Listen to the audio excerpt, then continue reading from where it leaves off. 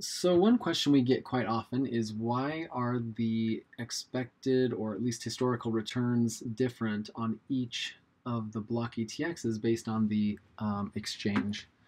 Well, we did our best to find um, a suitable mix of products, but because each exchange has different offerings and different coins with different liquidities, we had to kind of be a little bit more scientific on how we selected uh, coins for the block 5, the block 3, block 10, and, and these others.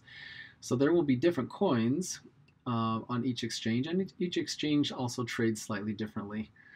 One thing that you'll notice is that the returns that we're just showing on the front page, it's simply the most popular exchange. In this case, it's Bittrex.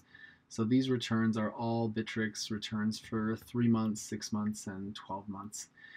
And um, so if I click on research, I can actually get more accurate information per exchange.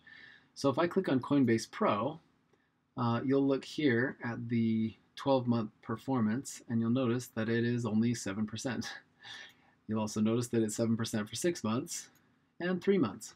Reason why is because not all of the coins in the block 5 were available for the entire 12 months. So we are simply keeping the um, the performance uh, as of the open or a, as as it was available. So look down here. Um, one of the coins is Cardano. Cardano did not start trading on Coinbase Pro uh, until probably a few weeks ago. It, it recently launched on Coinbase Pro, so we don't have a year's worth of data for Cardano so we really can't show what performance would have been like um, in, in the past. So we're essentially going from since inception in this case. So uh, you'll notice, you know, this this may or may not weigh into your your um, um, due diligence as you decide what products you want to to choose. The main idea is that we're looking at the uh, portfolio composition and we're seeing what coins we're getting exposure to.